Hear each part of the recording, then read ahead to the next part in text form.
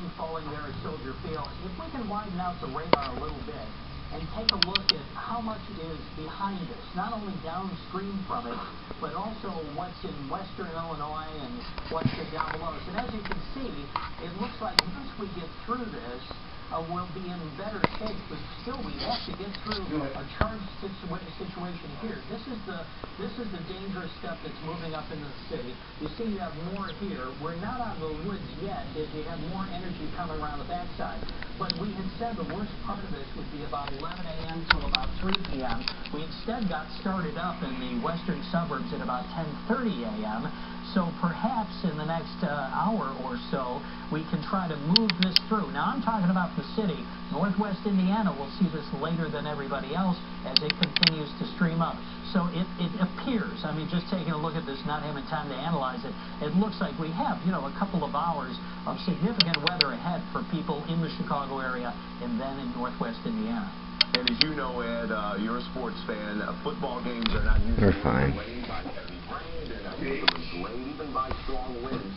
This is something else altogether. Exactly. Well, you have a life-threatening storm here. You have a severe storm that can threaten life, and uh, you want to get people out of harm's way. The other thing is that even if we didn't have these severe storms with a tornado associated with them, Illinois, this is an unbelievable photo, and I'm sure it'll be even more unbelievable when we see the, the before image of what stood uh, in what is now rubble in Washington, Illinois, again in the Peoria area.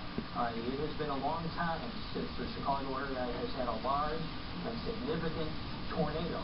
And uh, today, Jim and Marissa, it looks like certainly that's uh, that's what we're seeing here.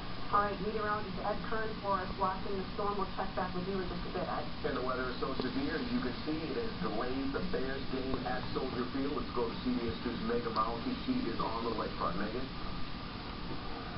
Well, Jim, I can tell you, I just came down from the press box a few minutes ago. I was the last person they said there was going to be a lockdown on the elevators. As I got on, big um, TV screens right there, and it had a big tornado warning, and we heard the siren. This was about five, ten minutes ago. Now I am down uh, in the lower concourse outside the Bears locker, and they don't want us to shoot that. But um, as you can see right here in the concourse, this is a whole secluded area by the locker. It's very calm here. As I walk down, though, lots of fans filling in.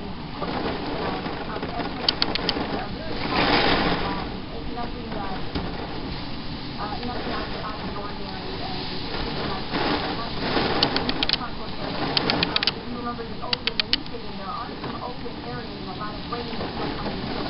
People are already racing, but uh, they told me that the earliest this game could possibly start, could possibly start, is 1.30, then with a 10-minute warm-up period, but that seems um, a bit optimistic right now, the earliest the game would actually start at 1.40.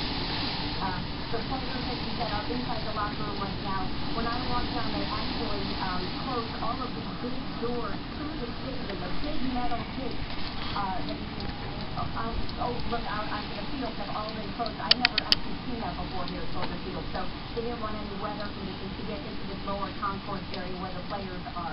Um, fans are not really down here. Just a couple of those ranches, I said, walking down. So very calm here. The Bears spokesman, Scott Nichols, just told me that they're pleased with how everything is going right now.